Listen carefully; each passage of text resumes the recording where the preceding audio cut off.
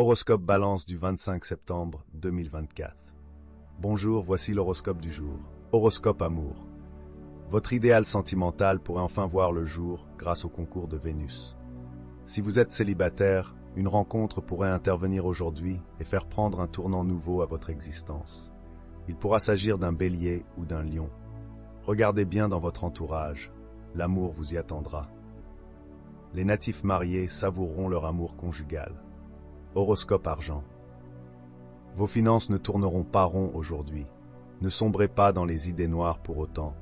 Les choses s'éclairciront et prendront bientôt une tournure beaucoup plus encourageante. Donc, pas de coup de colère avec des décisions brutales, car vous le regretteriez. Aussi, soyez fourmi plutôt que cigale. Horoscope santé.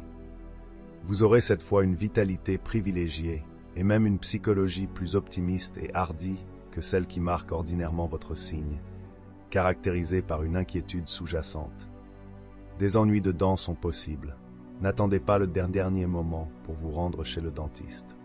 Horoscope travail. Concernant le travail, Mercure, planète de la prospection, agira en priorité dans le domaine des projets et des idées que l'on se fait de l'avenir.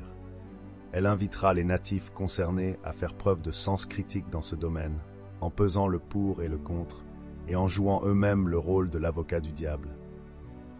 Horoscope famille. Certains d'entre vous auront peut-être une décision importante à prendre concernant un membre de leur famille, parent ou enfant. D'autres devront faire un choix en ce qui concerne leur domicile. Quoi qu'il arrive, sachez que vous aurez la possibilité de trouver une solution grâce à l'appui de Jupiter. Alors, ne vous laissez pas gagner par une inquiétude injustifiée. Horoscope vie sociale. Des relations particulièrement agréables en perspective ce jour, si vous vous montrez prêt à entendre les désirs des autres et à y répondre pleinement.